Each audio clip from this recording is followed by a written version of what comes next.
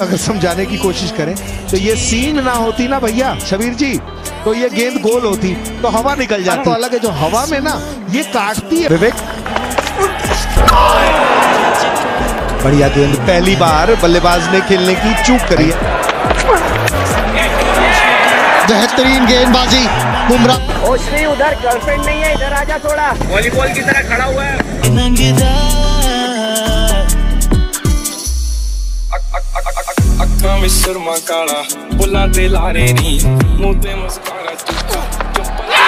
Wicket आ गई है। जिसके बारे में बात हो रही थी।